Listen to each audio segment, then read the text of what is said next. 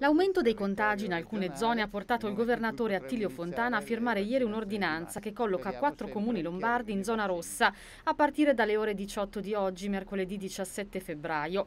Si tratta di Castrezzato in provincia di Brescia, una delle più colpite dalla pandemia in queste settimane, Vigiù nel Varesotto, Mede nel Pavese e Bollate alle porte di Milano.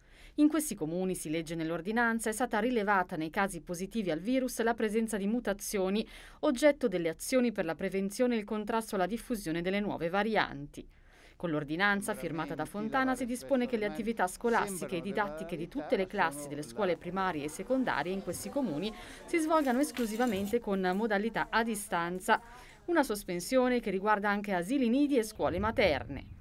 Resta salva, si legge nel documento, la possibilità di svolgere attività in presenza in ragione di mantenere una relazione educativa che realizzi l'effettiva inclusione scolastica degli alunni con disabilità e con bisogni educativi speciali. Le disposizioni sono valide fino a mercoledì 24 febbraio.